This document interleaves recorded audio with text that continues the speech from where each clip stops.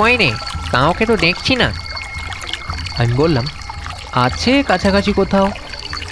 সামনে একটা নৌকো বাঁধা আছে। চাঁদের আলোয় নদীর জলে রূপো মেশানো মনে হচ্ছে। সত্যিই কোনো মানুষ নেই। ডাক দিলাম। বলি, কেউ আছো?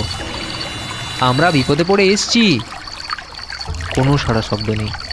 বলি, কেউ আছো কি? এমন সময় অন্ধকার থেকে কণ্ঠ ভেসে এলো। কোথায় যাবেন বাবুরা? এত রাতে একজন মাঝি ভাই সামনে এসে দাঁড়াল। বেশ রোগা রোগা চেহারা ছেলেটির। যাব বেতালগড় রাজবাড়ি? আর বলো না রাস্তার ব্রিজ নাকি ভেঙে পড়েছে? তাই বাস বেতালগড় হয়ে যাবে না। আমি বললাম হ্যাঁ তা তুমি যাবে তো? হ্যাঁ তা যাব বই কি? আমি তো রাতেই নৌকা চালাই। কেন? দিনে চালাও না বুঝি? না না আমার সমস্যা আছে। দিনে কি সমস্যা? তোমার? সে বলবক্ষণ আসুন উঠে আসুন। দেরি না করে নৌকায় উঠে পড়ল। এত রাতে যে নৌকা পেয়েছি এই ঢের। রেডিয়াম দেওয়া হাত গড়িতে দেখলুম রাত আটটা। নৌকো ছেড়ে দিল। বেশ সুন্দর লাগছিল। চাঁদের আলো মৃদুমন্দ বাতাস ও নৌকার দুলুনি। নৌকায় চেপে বেশ ভালোই লাগছে তাই না অমল? হ্যাঁ তা তা বেশ রোমাঞ্চকর। তুই তো ভয় পাচ্ছিলি। আমি না বললে তো আসছিলিস না। তা ঠিকই বলেছ। আমি ঘুরতে পছন্দ করলেও ভূতের ভয় বড্ড বেশি।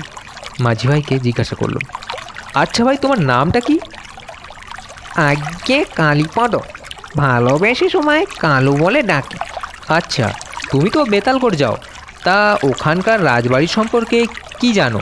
কেমন সব? শুনেছি নাকি হানাবাড়ি? ওই তেমন তো কিছু শুনিনি। তবে তেনাদের কি কোনো ঠিক আছে?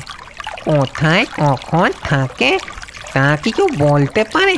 কালুর কথায় বেশ ভয়ই লাগল। আমরা নানা বিষয়ে গল্প করতে করতে চলেছি। এমন সময় হঠাৎ আকাশে চোখ পড়ল। এই ক্রাশ কালো চাঁদ ঠেকে দিয়েছে। অমলকে বলল, কী রে বাবু আকাশের অবস্থা তো ভালো নয়। এমন সময় কালু বলল বাবু তা মনে হয় বৃষ্টি আসবে। কালুর কথা শেষ না হতে হতেই শস্য বাতাস বইতে শুরু করল।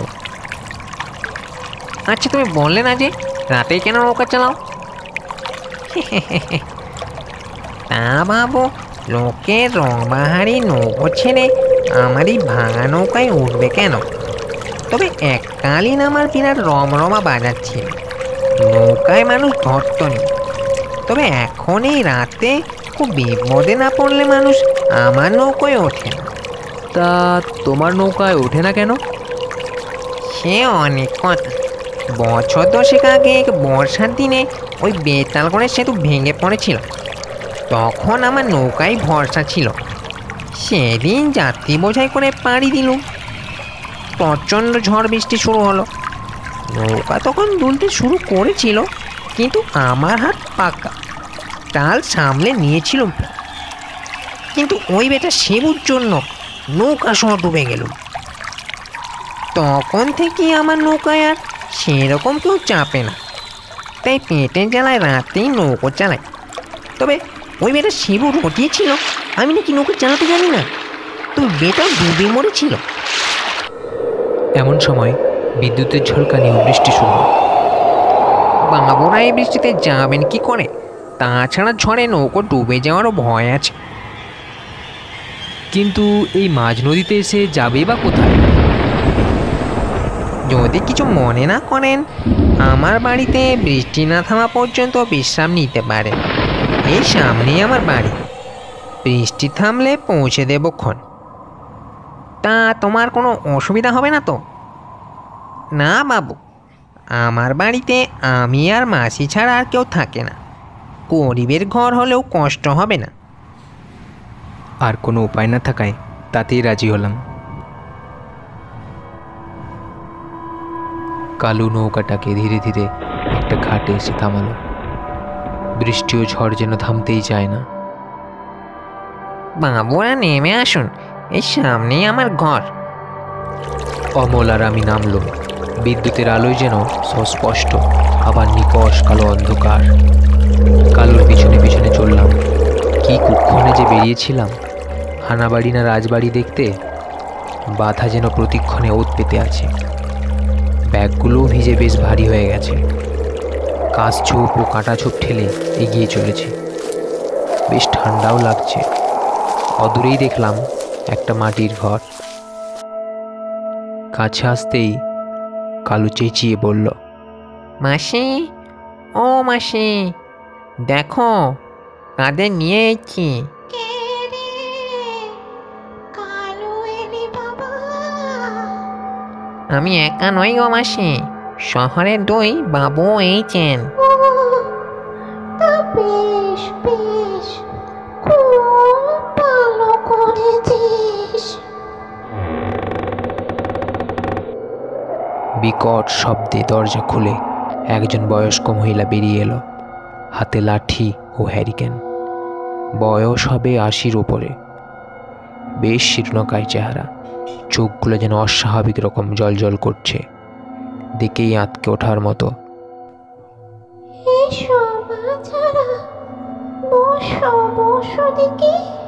হ্যারিকেনটা বারান্দায় নামিয়ে একটা জীর্ণ মাদুর পেতে দিল।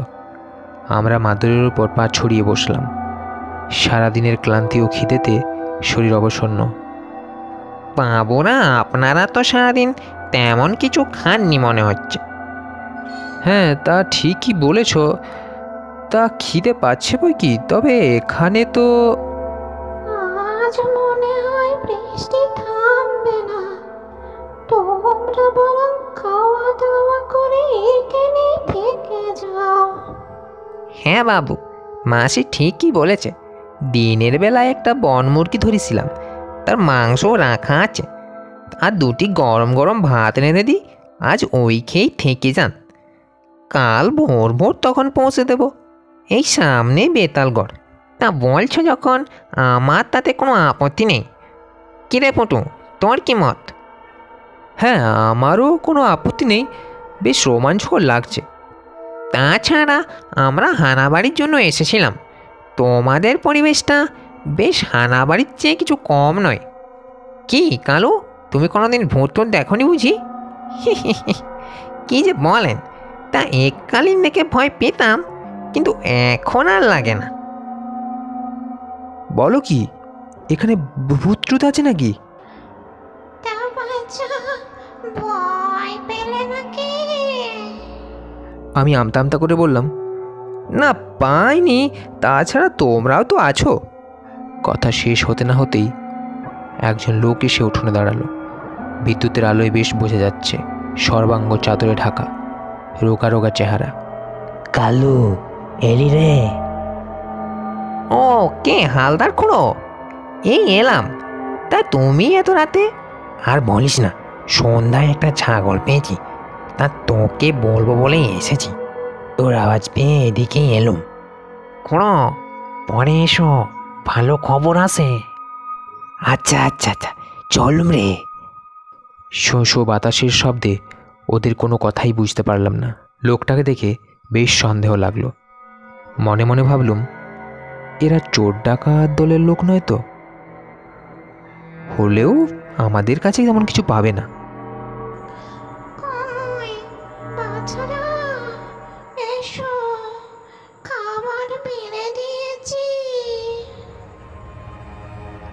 অমল আর আমি ভেতরে ঢুকলাম।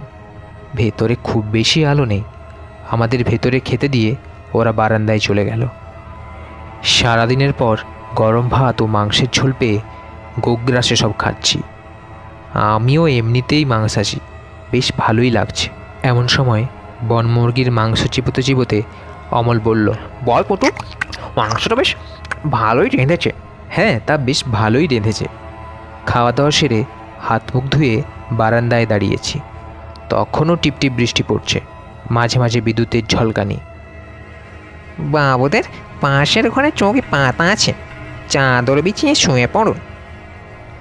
আমি বললাম হ্যাঁ ঠিক আছে। আচ্ছা তোমাদের সবার অসুবিধা হবে না তো? না না, বাবু। আমরা এই পাশের ঘরে আছি।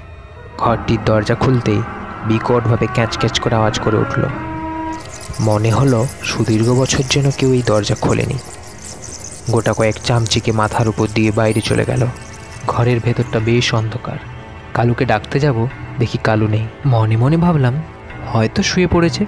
থাক, আর বিরক্ত করব না। বাইরে হ্যারিকেনটা জ্বলছিল টিম টিম করে।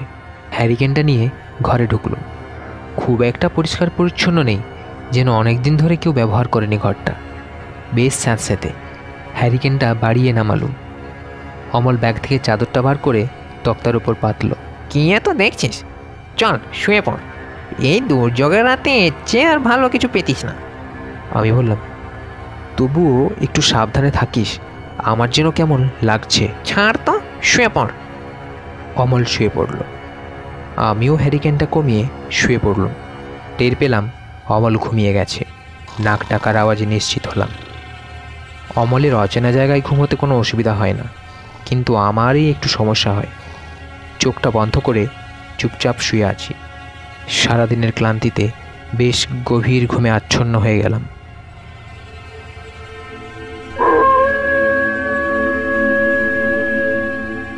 ঘুমটা ভাঙল একটা শক্ত, শীতল হাতের স্পর্শে। অনুভব করলাম হাত যেন আমার সারা শরীর টিপে টিপে দেখছে। সারা শরীর দিয়ে ঠান্ডা, শীতল স্রোত বয়ে গেল। গলা থেকেও যেন আওয়াজ বেরোচ্ছে না। আর সহ্য করতে পারলুম না। কাপা কাপা গলায় বলে উঠলুম "অ- অমল অমল? অমনি হাতটা সরে গেল। অমল ধর পড়িয়ে উঠে বসল। বলল কি হয়েছে পুটু কি হয়েছে?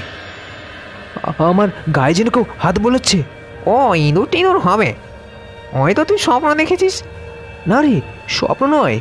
এই- এই ঘরে কেউ কেউ আছে? কে আবার আছে? তুই তো নিজে হাতেই দরজা বন্ধ করেছিস। এমন সময় বাইরে থেকে যেন কারও হাঁটার আওয়াজ পেলাম। খটখট খটখট যেন হাড়ে হাড়ে টোকাটুকির শব্দ। মনে হচ্ছে যেন কতকগুলো কুকুরে হাড় চিবিয়ে খাচ্ছে কড়মড় করে।